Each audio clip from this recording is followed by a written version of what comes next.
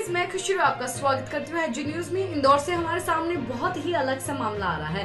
Actually काफ़ी सारे लोग हैं जो कि लॉकडाउन का पालन नहीं करना चाहते हैं और कुछ ऐसे ऐसे कदम उठाते हैं जिसके बारे में आजकल के समय में हमें सुन, जब हम सुनते हैं, तब हमें काफ़ी ज़्यादा बुरा लगता है कि क्या उनमें इंसानियत नहीं है? क्या उनको घूमना काफ़ी ज़्यादा ज़रूरी हो चुका है? क्या उनके लिए उनकी जान ज़्यादा इंपॉर्टेंट नहीं है? उनको ज़्यादा घूमना ही इंपॉर्टेंट है। काफ़ी सारे ऐसे सवाल उठते हैं हमारे दिमाग में। चलिए जानते हैं ऐसे ही एक बेपरवाह एक ऐसे डॉक्टर के बारे में जो कि एक ऐसी त, एक ऐसी तस्वीर लेके सामने निकला है जिसके बारे में जान के आप काफ़ी ज़्यादा हैरान हो जाएँगे। चलिए उसके बारे में बताते हैं पर उससे पहले अगर आपने हमारा चैनल सब्सक्राइब नहीं किया तो चैनल को सब्सक्राइब कीजिए बेल आइकन को दबाइए जानकारी अच्छी लगी तो कमेंट बॉक्स में कमेंट करते हुए ज़रूर जाइए और साथ के साथ एक लाइक ठोकते हुए भी ज़रूर जाइए। तो शुरू करते हैं आज की न्यूज़ हमारे सामने ये मामला इंदौर से आ रहा है। जैसे कि आप लोगों को पता है कि लॉकडाउन लगा हुआ लॉकडाउन का आठवां दिन है और उस दौरान ही हमारे जो कोरोना वायरस से संक्रमित जो लोग हैं, उनकी संख्या बढ़ती ही जा रही है। हालाँकि इसको कंट्रोल किया जा रहा है, पर कुछ लोग ऐसे हैं जो कि लॉकडाउन का उल्लंघन कर रहे हैं। और लॉकडाउन का उल्लंघन करके वो संक्रमित होते हैं और उस दौरान ही अपने परिवार को संक्रमित कर रहे हैं।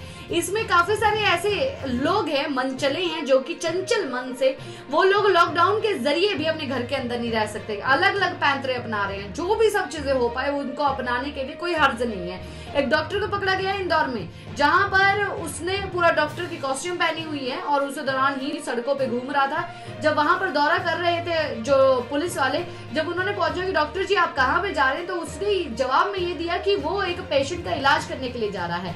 थोड़ा बहुत डाउट हुआ और उसको थोड़े बहुत पसीने भी आ रहे थे क्योंकि बोलते हैं कि चोर के दाढ़ी में तिनका हमेशा होता है।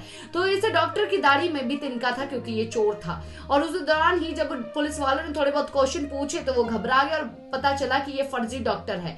और उसके बाद उसको अभी हिरासत में ले लिया गया है और लोगों को फिर दोबारा से बोला गया है कि प्लीज़ हम लोग आपकी जान के लिए बाहर है। प्लीज़ आप सिर्फ़ अपनी जान के लिए अंदर रहिए। बस इतना ही आप सब लोगों के लिए रिक्वेस्ट है। पुलिस वालों की तरफ़ से डॉक्टर्स की तरफ़ से ये सब चीज़ें पैंतरा मत अपनाइए।